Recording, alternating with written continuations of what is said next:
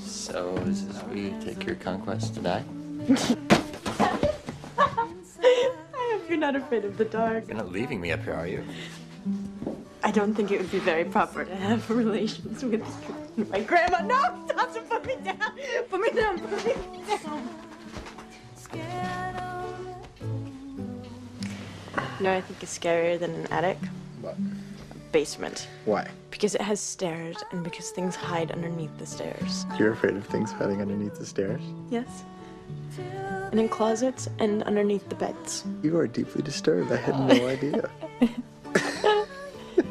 that is adorable. Well, it's the kind of thing that only boyfriends are privy to. Hmm.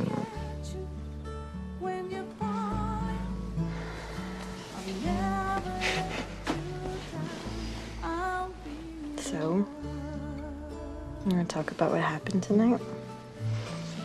Nah. Okay. Guess you can't change reality. No. There's even something cathartic about it.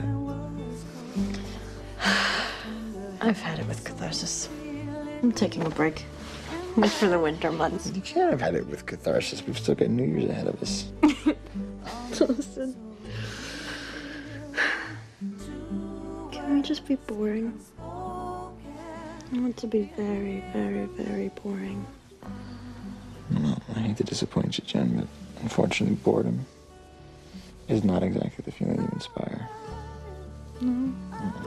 Dawson, I think that this room has possibilities. What kind of possibilities? Okay, we can talk about tomorrow.